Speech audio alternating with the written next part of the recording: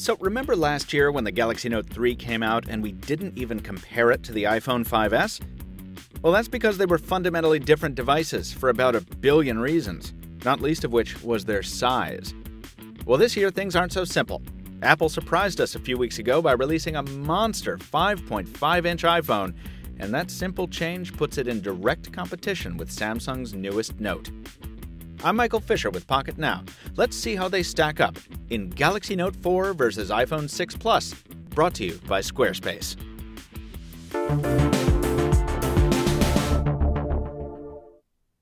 Used to be that Apple was the king of all things fit and finish, especially when it came to Samsung comparisons. But the folks in Seoul have stepped up their game this year as we explain in detail in our full Note 4 review, the newest Samsung phablet bears a chamfered chassis of aluminum magnesium with a polycarbonate leatherette back that recalls the expensive notebooks it's named after.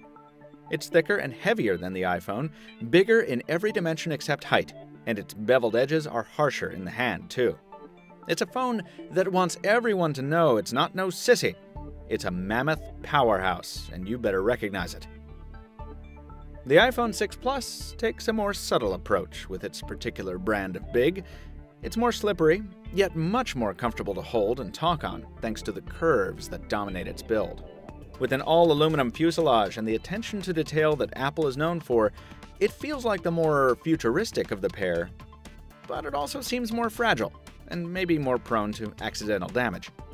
Aesthetically, it's not our favorite iPhone ever either with its bold antenna inlays seeming out of place on this rounded hardware.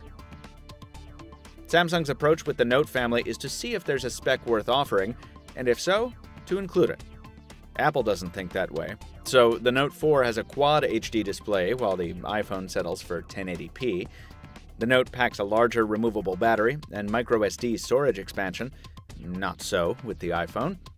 With the Note, you can control your TV or media center via IR, you can measure your heart rate and blood oxygen level, and you can draw on your screen or scroll like a mouse with the included S Pen.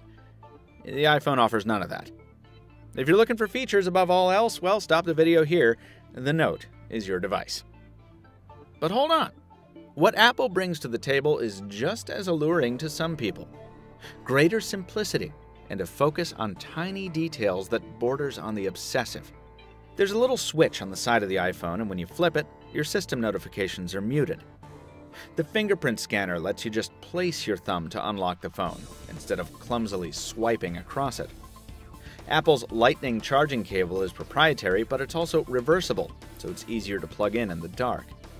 Are these features elementary? Even laughably so? Yes.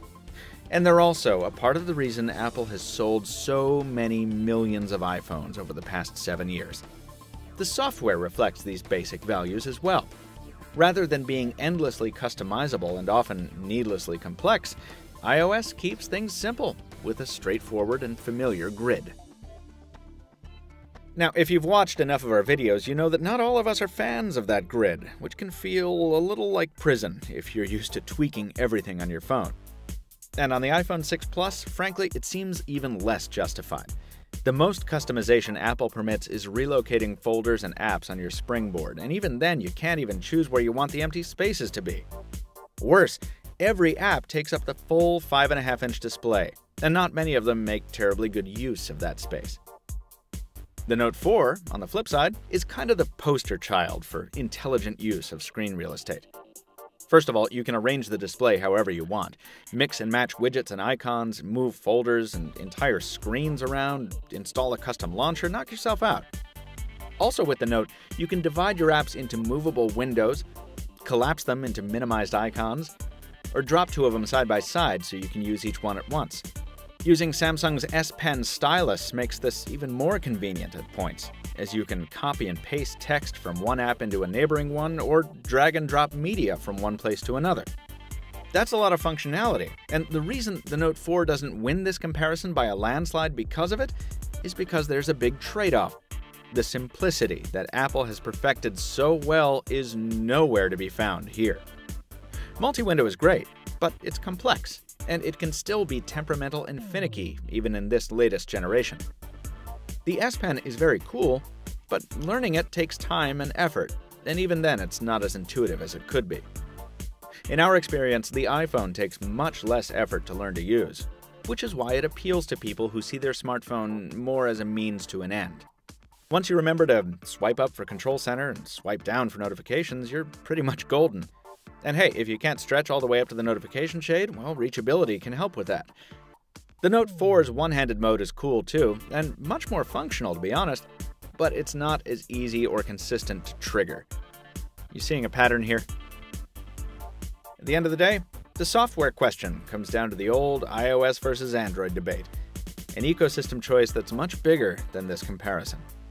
To break it down succinctly, the iPhone sacrifices versatility for simplicity, capability for cosmetics, whereas the Note 4 does the exact opposite.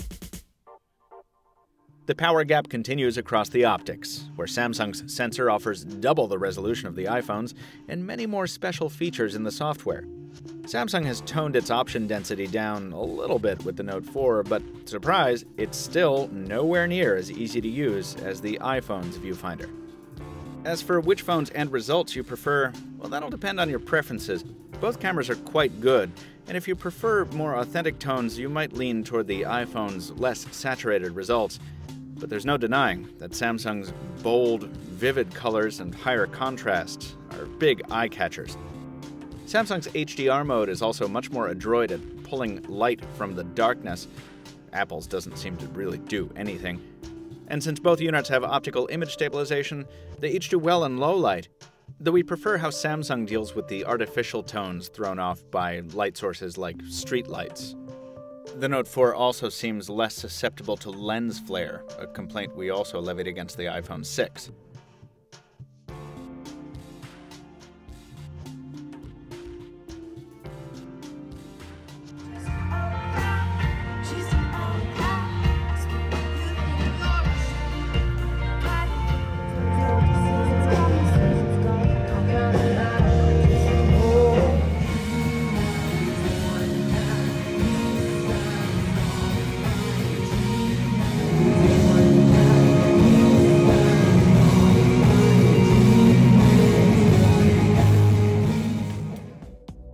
Apple's A8 processor in the iPhone and Qualcomm's Snapdragon 805 in the Note are completely different from an architectural standpoint.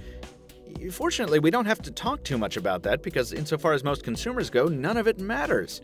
Both devices adroitly handle processing loads from the benign to the extreme. Now, each one shows occasional stumbles in everyday interaction, which is surprising given the amount of power under the hood here, but no device is perfect. Testing on AT&T in Greater Boston, we found the iPhone to be the more comfortable device to talk on, both physically because of its soft rounded construction and because its earpiece favors clarity over sheer volume. Callers also said we sounded louder but less clear on the Note 4, with noise cancellation effectiveness about the same between the two. As for the speakerphone, we said in our Note 4 versus Note 3 comparison that we didn't like Samsung's decision to move it from the bottom to the backside and the iPhone 6 Plus demonstrates exactly why. Its edge mounted speaker is just as loud as the rear firing unit on the Note, and it also delivers a fuller, richer sound, despite having less space to work with.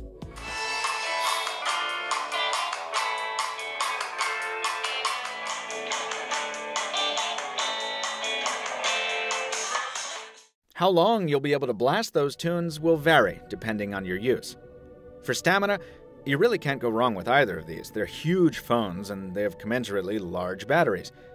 Samsung's battery is bigger, yes, but it's also got bigger power draws on the screen and probably the software.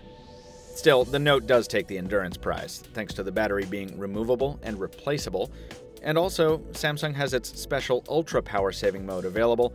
And once you do exhaust the battery completely, the quick charger in the box can get you back up to 50% in a half hour, which is just ludicrously fast. Finally, you can bring down the brightness on the Notes display to almost nothing to save juice, which is also handy for reading in bed or texting in a dim restaurant without blinding your neighbors. Who says Samsung can't sweat the small stuff? Outside the most basic fundamentals, these smartphones are nothing alike, so the right buyer for each is easy to figure out. If all you're looking for is a bigger display and a longer lasting battery on a straightforward but powerful smartphone, the iPhone 6 Plus is the better fit. It's got the more polished ecosystem and fewer hassles on the whole, and its software showcases the ease of use that's made Apple a household name. If simple isn't your bag, if instead you're a hardcore power user looking for the most raw performance you can fit in your pocket, or you're a productivity pundit in search of a phone more like a desktop than a mobile device, and you don't mind the complexity that comes with that, the Galaxy Note 4 lives up to its vaunted family name, and it's the better phablet for you. Either way, remember, you're getting an outrageously capable handheld. The only thing that makes one better than the other is how you plan to use that capability, and that, as always, is up to you. Once again, this has been Michael Fisher with Pocketnow, and this comparison was brought to you by Squarespace, the all in one platform that makes it fast and easy to create your own professional website, portfolio, and online store. For a free trial and 10% off, visit squarespace.com and enter offer code POCKETNOW at checkout. A better web starts with your website. While you're here, be sure to check out our Galaxy Note 4 versus Galaxy Note 3 comparison and also see our full Note 4 review right alongside. Till next time, this has been Michael Fisher with Pocketnow, Captain Two Phones on Twitter, reminding you that, as always, it's the motion of the ocean that really counts. We'll see you next time.